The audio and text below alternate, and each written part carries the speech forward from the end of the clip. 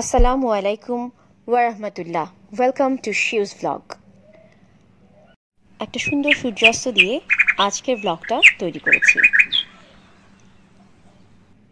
আমরা যাচ্ছিলাম মিয়া পার্কে, কাতারের ইসলামিক মিউজিয়ামের পাশে যে পার্কটি, সেটাই মিয়া পার্ক নামে পরিচিত। এর একদিকে রয়েছে সমুদ্রের প্রাকৃতিক দৃশ্য। আর একদিকে রয়েছে বাচ্চাদের জন্য খেলার স্পেস। সেই সাথে রয়েছে বড়দের জন্য ক্যাফে। এখানে দুটো ক্যাফে আছে, যেটা সমুদ্রের ধারে স্কাইলাইনের দেখার সুযোগ করে দেয়। অসম্ভব সুন্দর। তবে এখন এই ভিডিওতে আমি শুধুমাত্র একটা স্পেশাল সানসেটের দৃশ্য ধারণ করেছি। আজকে এই ব্লগের মাধ্যমে আপনাদের সাথে শেয়ার করব। চলে এসেছি আমাদের পার্কে। প্রায় এই সময়টা সমুদ্র কাছে খুব ঠান্ডা একটা আবহাওয়া। আর সূর্য ডোবার মুহূর্তটা তো অসম্ভব সুন্দর হয়। এই সুন্দর মুহূর্তটা আমি আমার ক্যামেরা দিয়ে যতটা সম্ভব ক্যাপচার করার চেষ্টা করেছি।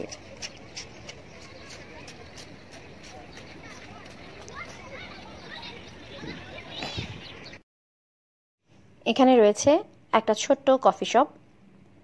আর এর ঠিক উল্টো দিকেই রয়েছে কর্নিশ।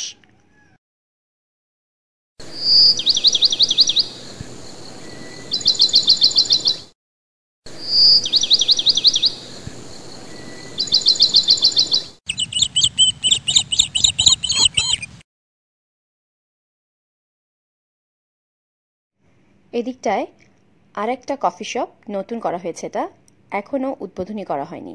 হয়তো আরও এক দু সপ্তাহ লেগে যেতে পারে। এটা চালু হতে। এছাড়াও, ইচ্ছে করলে এই সমুদ্রে কফি খেতে খেতে নৌকাগুলোতে করে একটু ঘুরেও আসা যেতে পারে।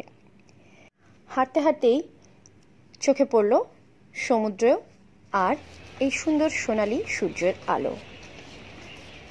এদিকটায় সূর্য ডোবার সময় হয়ে এসেছে আর এদিকে এখনও আলো দেখা যাচ্ছে। আস্তে আস্তে সূর্য আরও নিচের দিকে চলে যাচ্ছে। একেবারে সমুদ্রের পানির সাথে মিশে যাচ্ছে যেন। সুভান আল্লাহ আল্লাহর এত সুন্দর সৃষ্টি। সে পৃথিবীর শুরু থেকে আজ পর্যন্ত একইভাবে একই রকম নিয়ম মেনে তার কাজ করে যাচ্ছে। আর এই জন্য হয়তো আল্লাহ বলেছেন, আমাদের ঘুরে দেখতে প্রকৃতিকে দেখতে, তার সৃষ্টিকে দেখতে, যে সেই সৃষ্টিগুলোকে তিনি কীভাবে সৃষ্টি করেছেন এবং সেগুলো কীভাবে তার নিয়ম অনুযায়ী একইভাবে কাজ করে যাচ্ছে।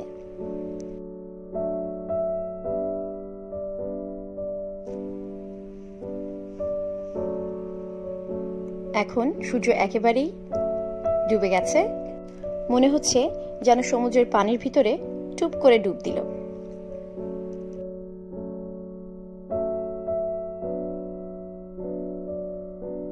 সূর্য ডোবার এই সুন্দর মুহূর্তগুলো ক্যাপচার করতে পেরে খুব ভালো লাগছে, আর ভালো লাগছে এটা আপনাদের সবার সাথে শেয়ার করতে পেরে। যদি আপনাদেরও ভালো লেগে থাকে, তাহলে আমার চ্যানেলটি সাবস্ক্রাইব করে আমার পাশে থাকবেন, আর বেল বাটনটি ট্যাপ করে দিন, তাহলে নেক্সট ভিডিওর নোটিফিকেশন পেয়ে যাবেন। সেই সাথে লাইক এবং শেয়ার করার জন্য অনুরোধ রইল।